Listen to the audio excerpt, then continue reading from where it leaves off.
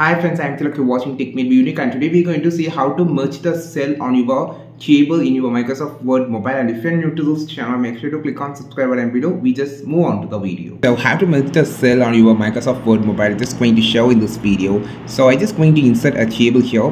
And then you just I just going to add this. Just first of all I just going to color this option.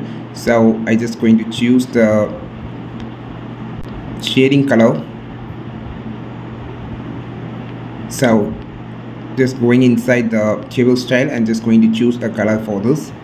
Now I just need to merge this two cell you just need to select this select the cell.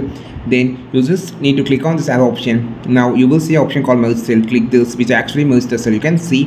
Now I just need to merge this two cell. And I'm just going to click on the same option option and just swipe down. And you will see option called merge cell. Click on this merge cell option. Now it's automatically merged this is how you just merge the cell on your Microsoft Word mobile. I think this video helped you a lot. Like this video, share this video, subscribe this channel. We will meet our next video with the super valuable content. This is Tilak signing off from Tech Made Me Unique. Have a wonderful day.